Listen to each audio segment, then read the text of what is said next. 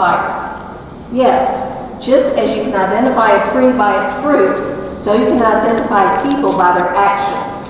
Not everyone who calls out to me, Lord, Lord, will enter the kingdom of heaven. Only those who actually do the will of my Father in heaven will enter. On judgment day, many will say to me, Lord, Lord, we prophesied in your name and cast out demons in your name and performed many miracles in your name. But I will reply, I never knew you. Get away from me, you who break God's laws. This is the word of God for the people of God. Thanks be to God.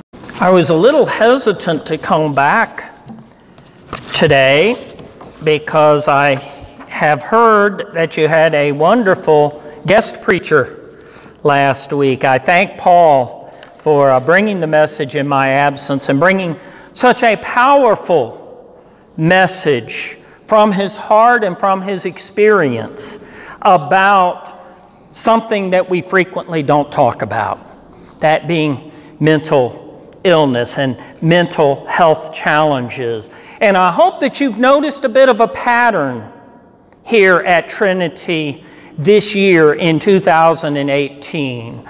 You may recall back in February when Kathy Smith shared from her heart and from her experience about a specific part of mental illness and mental health, those who suffer from depression. And then a couple of months ago, I shared about another topic we don't frequently talk about, that being suicide and what we can potentially do about that. And then a couple of weeks ago, seems like almost years ago now, because the vacation was so good, but we talked about how Jesus has a vision for Trinity Baptist Church that I hope we catch, and that being a church that is accepting and merciful and forgiving and helpful to everyone in our community, no matter what the challenges they may be facing. Perhaps they're facing criminal histories and problems with that, or perhaps they're facing drug or alcohol addictions and struggles with that, or mental health struggles. We live in a broken world. And so, Paul, thank you for bringing that powerful message last week. And thanks all of y'all for allowing me to come back and to again fill God's pulpit here at Trinity Baptist Church. We're in the next to the last sermon in our series of God's Kingdom in Action, drawn from Jesus' Sermon on the Mount. And again, three weeks ago, a couple of weeks before I left for vacation, we looked at Jesus' summary of the sermon, specifically chapter 7, verse 12 in everything, do to others as you would have them do to you.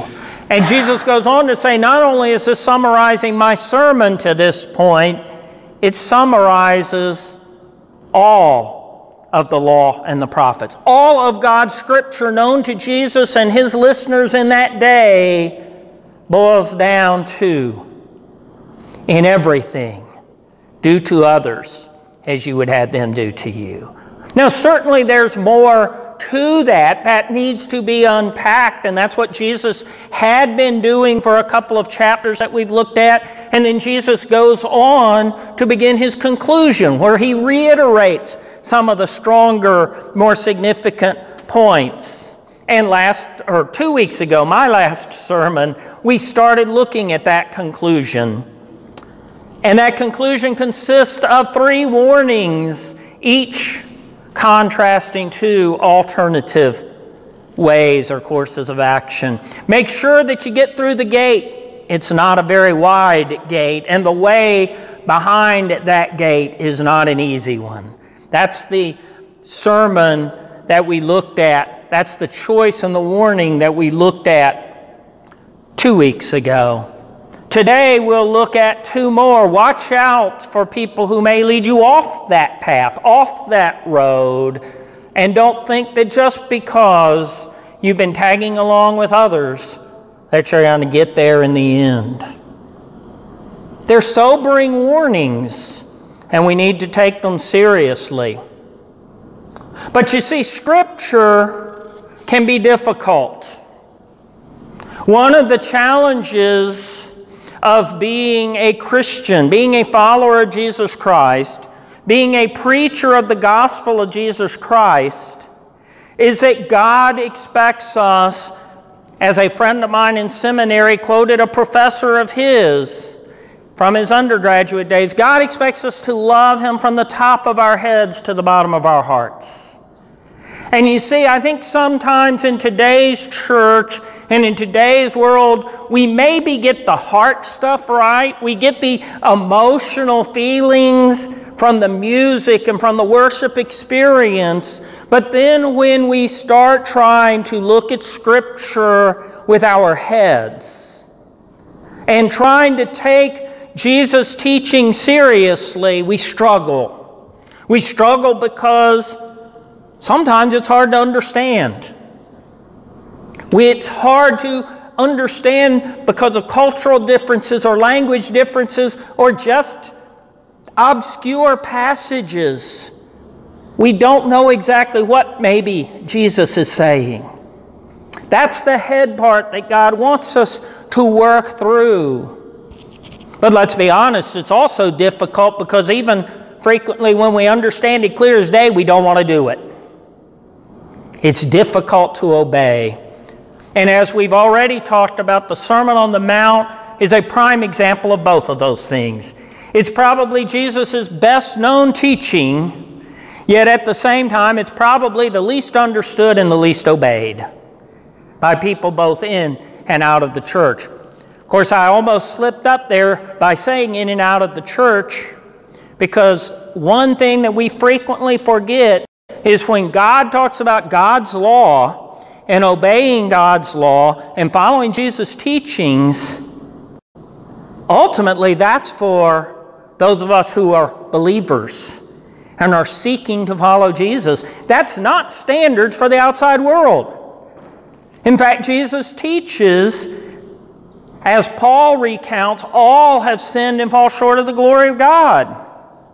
And we cannot meet God's standards without God's help through Jesus Christ. So when we look at the world around us and expect the world to meet Jesus' standards, we've got it all wrong. We need to be looking inside ourselves and inside the church to see if we're meeting God's standards and setting the example so that then those who don't yet belong to God, who don't yet know the gift of Jesus Christ and forgiveness through God's grace in Jesus Christ,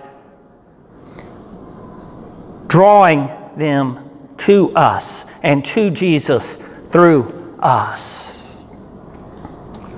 That's where we are in today's passage.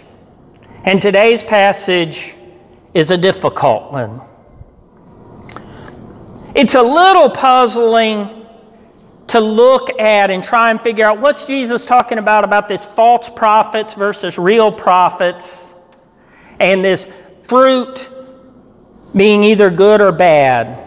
I think maybe we can grasp some of that and we'll unpack that and look at it.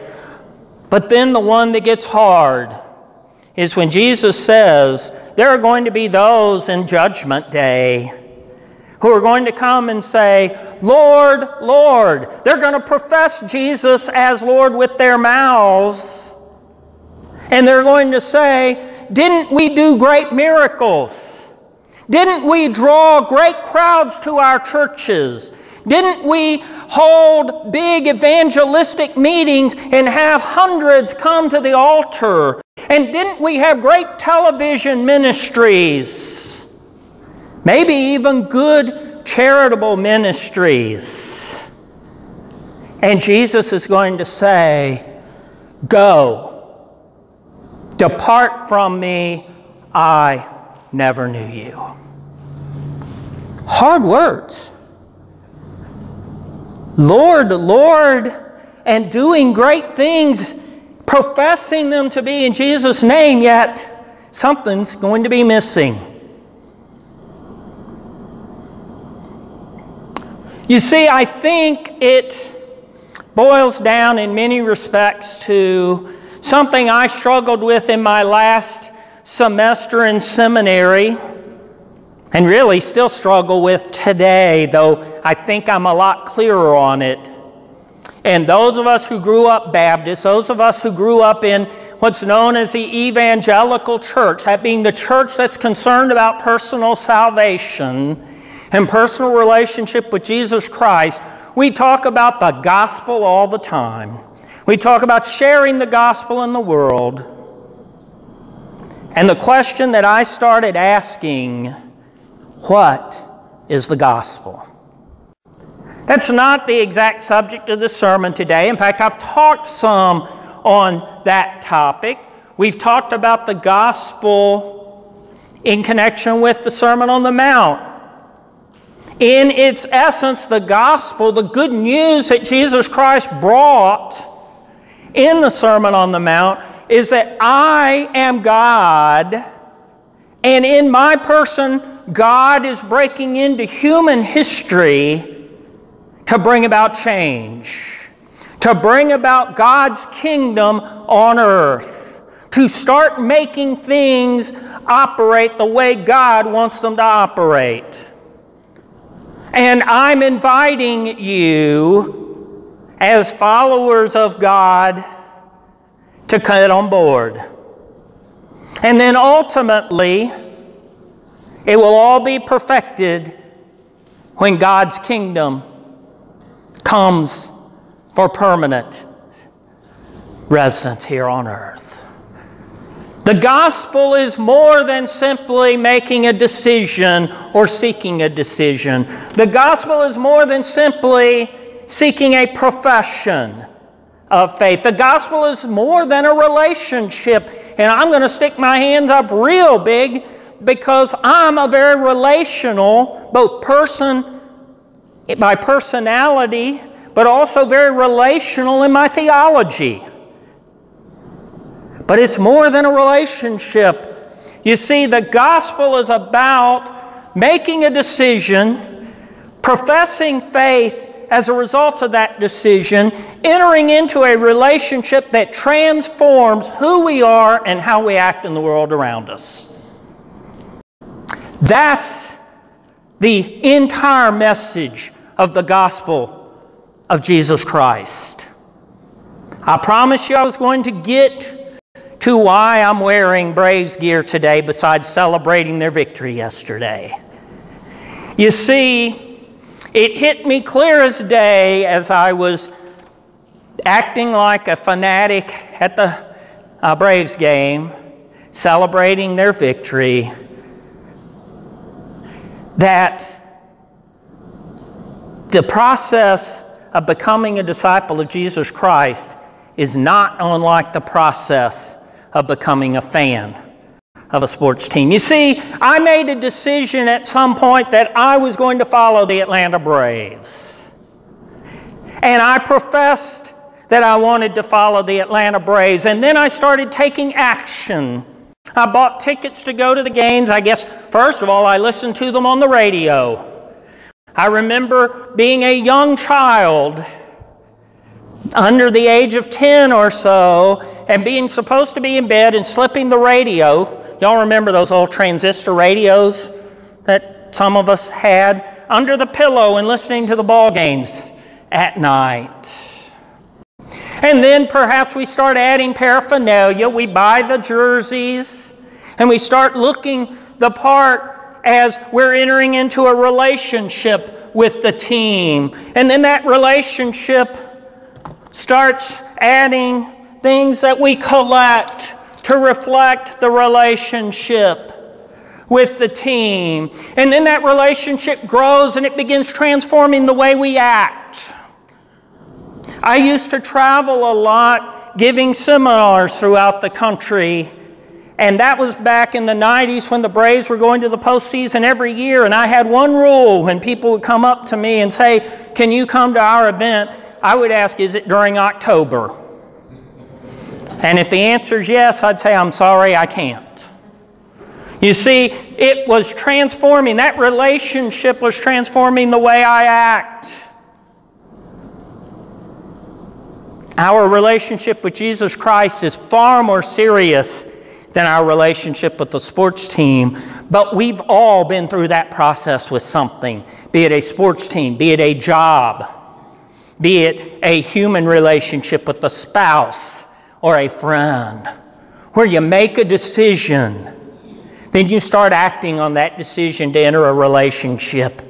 That relationship begins to transform you and it transforms the way you act. That's what Jesus is saying today in his passage. He's saying, Beware of false prophets. And it is a warning to stay away from people who are fake and phony that may lead you off the path. But the implicit message Jesus is also saying is test yourself.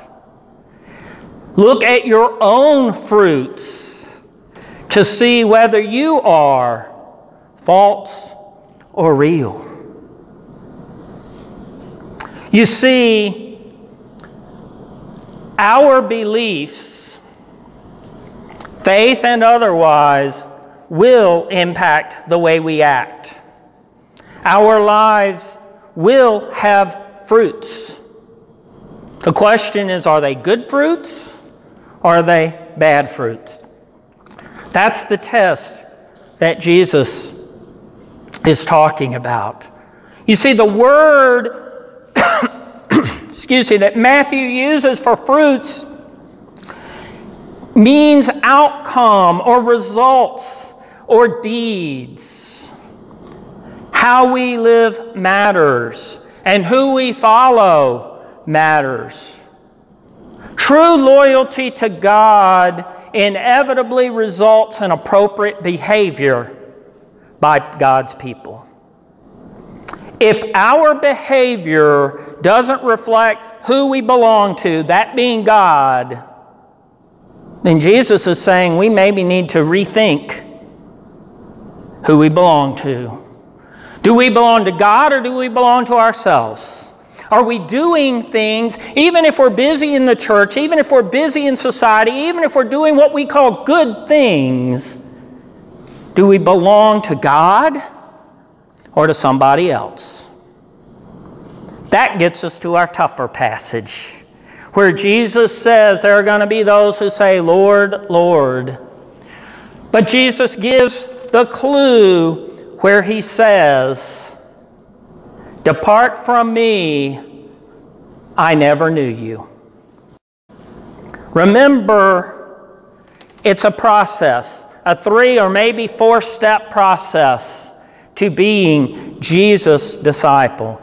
The decision's first and foremost because it's the beginning that leads to the profession of faith and trust in Jesus, acceptance of God's gift of forgiveness through Jesus, and then entering into a relationship that transforms the way we act. The fruits that we bear. But you see, simply the fruits, the acts by themselves aren't enough. There's been a controversy the last few weeks in the religious community, and it's not a new controversy. It's been around for quite a while, but it's gotten more attention lately because a group of pastors set forth a statement on social gospel in the churches. And I'm sorry, since I stepped away from my notes, I hadn't memorized the exact title. I don't think that's quite it, but it's, it's social gospel in the faith. And they come from a line of thinking that would stress the decisional end of that spectrum.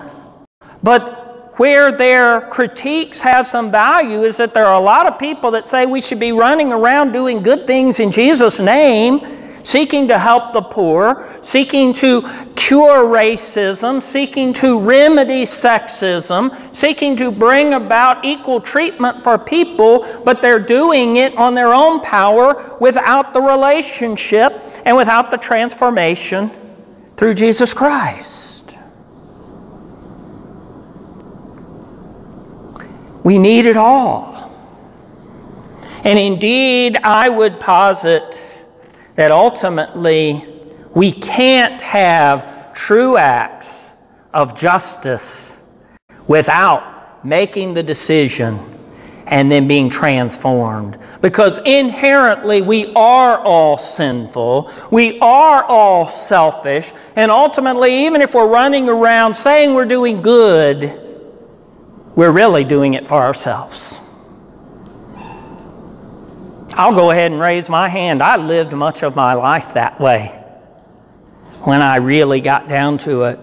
I would have told you much of my life that I was a pretty decent guy, that I really had service and public service at my heart, and that I was trying to help you, but I'd get very disappointed if I didn't get the pat on the back. I maybe didn't have a financial motive or a misuse of you motive, but I sure wanted that big pat on the back. How great you are. Jesus calls us to do what's right because it's right. Jesus calls us to enter into such a close relationship with Him and with our Heavenly Father God that we cannot help but act the way God and Jesus wants us to act.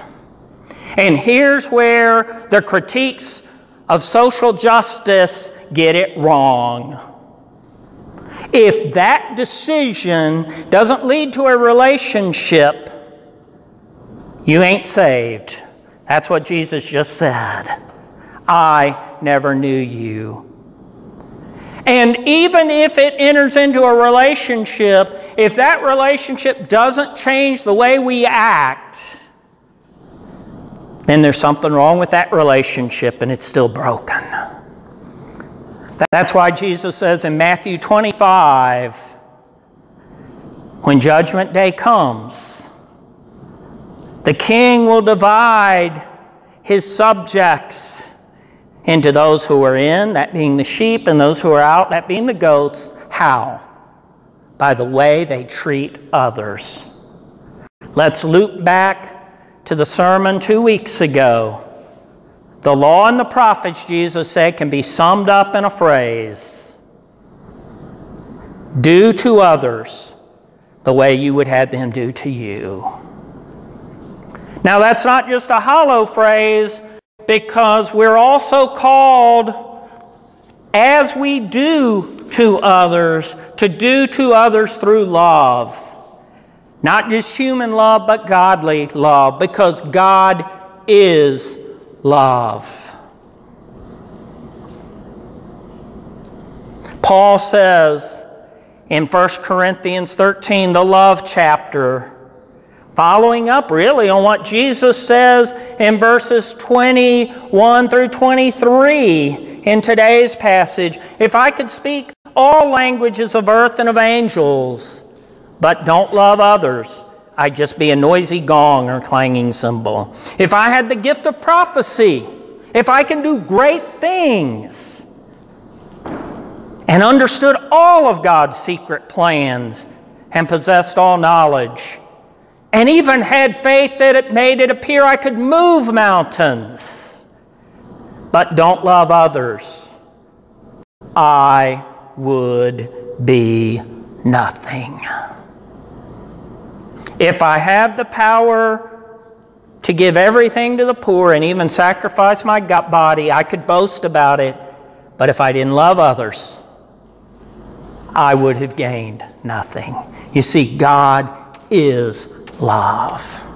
God's people are being transformed into being like God and loving others. So, how will others view your actions and your fruits? Do the way you treat those around you reflect God's love? I'm going to really step out there in today's world. Do the way you treat people whose political views you find despicable reflect God's love? Do the way you treat people that Paul preached about last week who act funny, act different, we would call are weird, reflect God's love? Does the way you treat people who don't look like you, who maybe aren't from this country, who maybe aren't of your socioeconomic standard or your educational standard, does it reflect God's love? If you can't say yes, pray.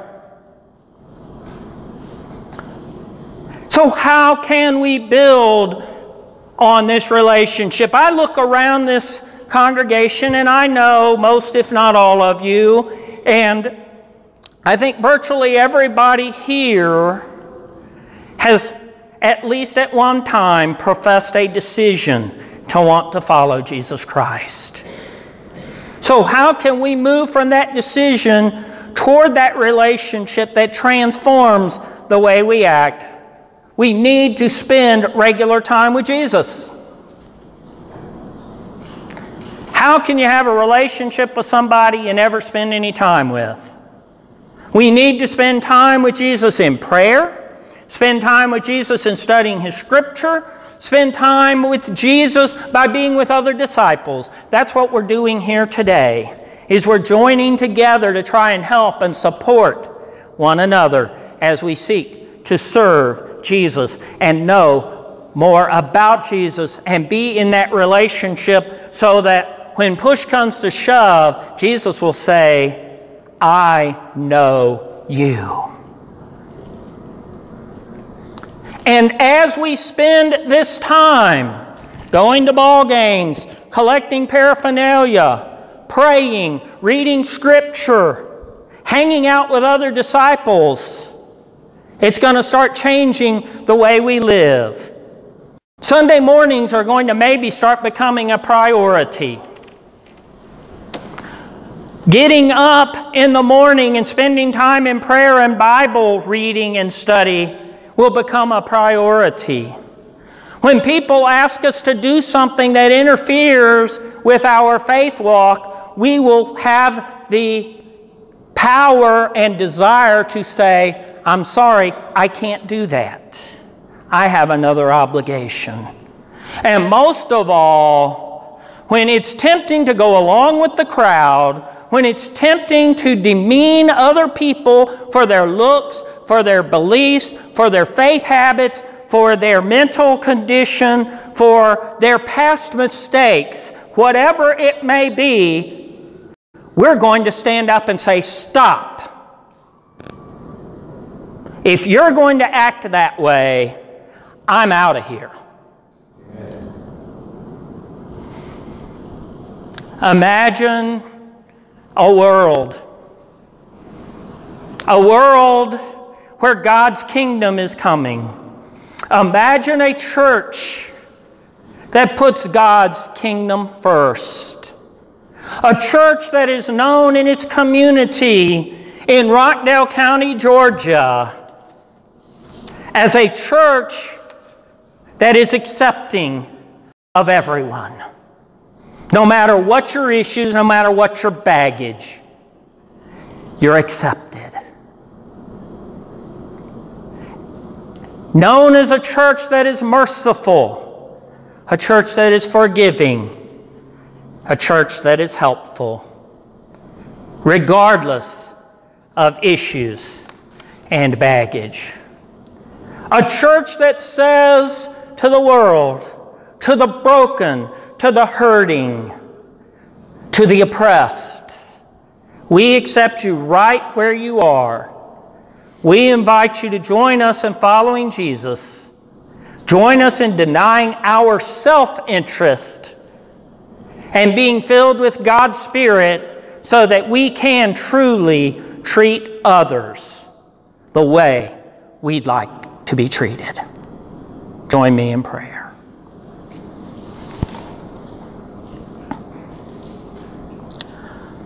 Oh God,